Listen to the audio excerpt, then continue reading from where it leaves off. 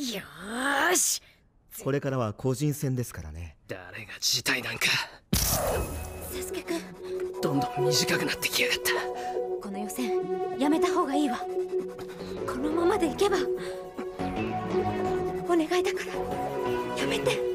やはりななんせあの内派一族ですから。術者の体を蝕む。禁術なの。本当ならもう死んでるわ朝のこと先生たちに言うわ。僕はやめときます。なんで？やめちゃうの？すまないナルト君。けど僕の体はも一体何を考えとるんじゃ？3度目にしてようやく卒業試験に合格。